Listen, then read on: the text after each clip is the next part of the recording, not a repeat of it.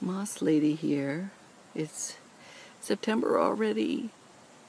It's going too fast.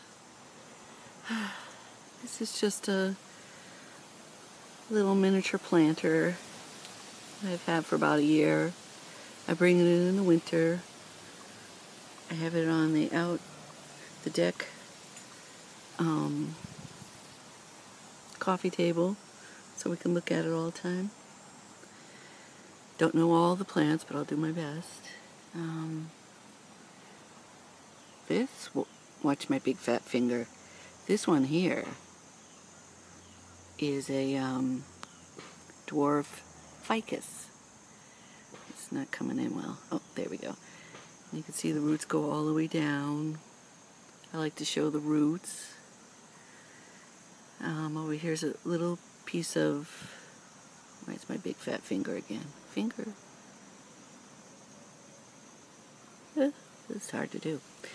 Piece of little piece of driftwood.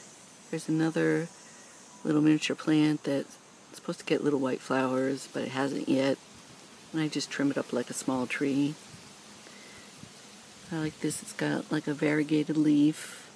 And the more sun it gets, um, or maybe it's the opposite, the more uh, shade it gets, the colors come out of yellow, gold, and even some pinks. This one, I'm not sure what it is. It's gotten huge.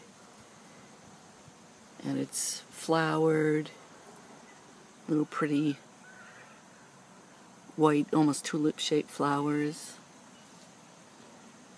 trying to get the glare off here. Eh.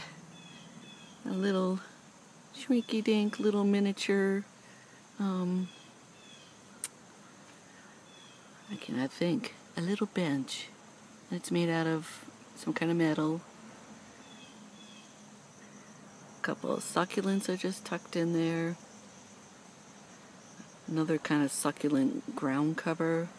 Just thought it was really interesting and kind of leaves are some of the leaves the older leaves are variegated then I got some nice little pavers mini pavers. These are actually um, tiles stone tiles. You can see there's mica in a lot of them little kind of slate colors and others. And um, I got those from Home Depot a while back. They've been very handy.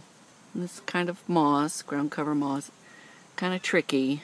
And it probably likes more moisture. But what can you do? I'll trim it up. It'll do okay. And then a little jerky squirrel digging a hole over there. Ooh they make me mad. They pull out plants and toss them aside.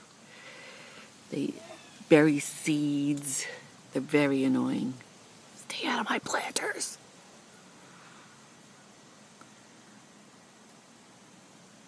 So sorry the picture's not better. I'm trying to do this here in the shade and not working real well. I may have to do this again. Well, this is Moss Lady showing you a garden planter over and out.